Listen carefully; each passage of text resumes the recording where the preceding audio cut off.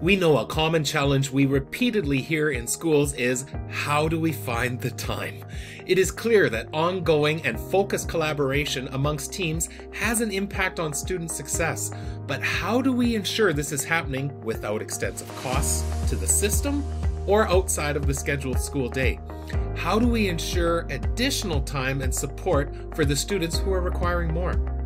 My name is Curtis Hewson, lead learner and co founder of Jigsaw Learning, and for the past 20 years, I've worked within my own schools and then supported other elementary and small schools in thinking about timetabling just a little bit differently.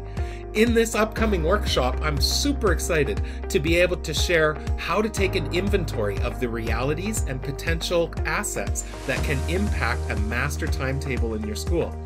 I'll also be sharing a mind shift that is integral to responsive scheduling for students.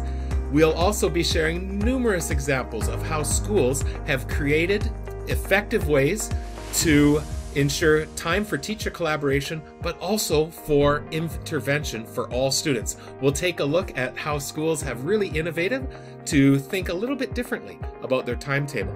However, finding the time is just the starting place. We how we structure that time matters. We will explore some critical considerations when it comes to ensuring collaboration and intervention time is having optimal impact. Of course, we'll be sharing numerous resources and samples to help you, regardless of your school community or school context. I look forward to connecting with you soon.